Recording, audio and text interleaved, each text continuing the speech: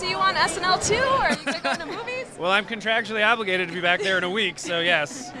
Awesome, and you must be so excited. What inspired you to write the story?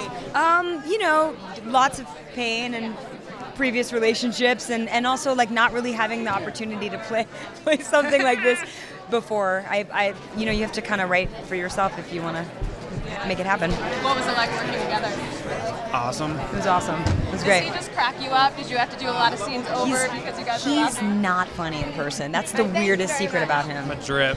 Thank you. Congrats, you guys. Thanks. Appreciate it. Thanks. Tell me, where does a pop star fit into this story? I'm, I'm curious. You're playing a pop star, right? Yes, um, Rashida works at an advertising marketing kind of company, and she takes on my, me, like my image, to kind of market. And she's totally against it. And she's like, I do not want to work for or with Riley Banks, which is me. And then we end up having this kind of odd friendship.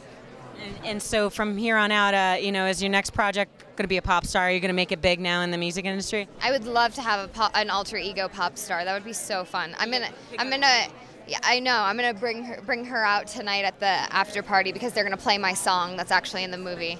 So that should be fun. Do you perform it in the movie? I don't perform, but I did record a song for the movie in character of my pop star. What is it? What is it called? It's called "Do It on My Face." Can you give us the chorus? I cannot.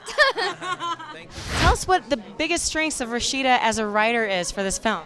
Well, she's a great actress, and any great actress, I think, is going to know what, what makes a great scene and a great character. And in this case, she wrote an exceptional character for, for herself. And it's, you know, finding great roles for women is so tough in this town. And so she's just said, you know, F it, I'm going to do it myself. And she did it. And it's, uh, it's also kind of touching on a topic like divorce is not always very funny, but you've got some of the greatest, you know, comedic actors in this. The script is, is a really great mix of sweet and sour. And so we knew we wanted actors who could come in and do the comedy, but also actors who could play some really heartbreaking moments, heart, moments that are going to be a part of any divorce and, and heartbreak. And so I think we, we ended up with a nice mix of, of talent.